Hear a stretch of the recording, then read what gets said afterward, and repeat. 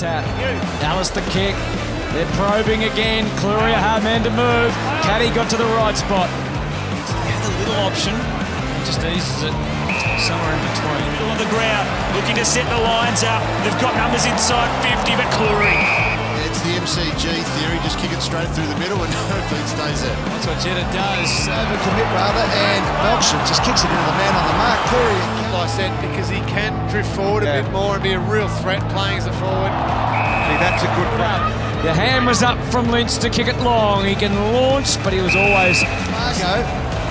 Can Melbourne make the most of that uh, let off there? That was one for Port Adelaide amongst the players. Oh, big fist. Front most of the night. They want to try and pinch the lead back. Zorko loved that. Immediately off the boot. We might check. Gibbons slams it out up towards Petracca has to go, but Clurey does it nicely. moves back to the wing through Ed Kerno and Clurey again. You've got everybody up.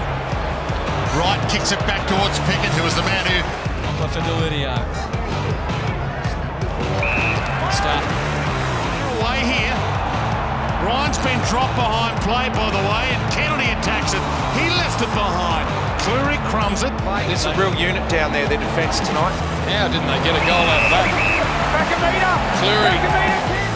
Back to Whitfield. This is exactly what's going to happen. Yep, fall into the trap again. So they'll Contest, kicks to half forward. Big leapers go up, and Clurey read it better than his staunch at halfback. High ball to the wing. Simpson looks around. Lobb was there, but back half, you, you pass that pressure on to your teammates. goes long, but it's coming back.